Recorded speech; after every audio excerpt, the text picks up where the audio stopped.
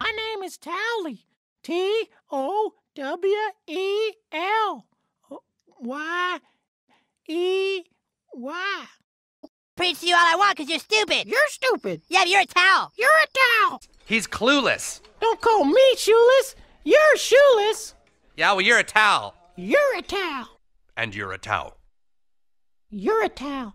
The author of A Million Little Fibers is a towel. You're a towel. No, you're a towel. Well, you're a beaner towel. What did you say? You can all suck it. You're all you're all a bunch of towels. That's what you are.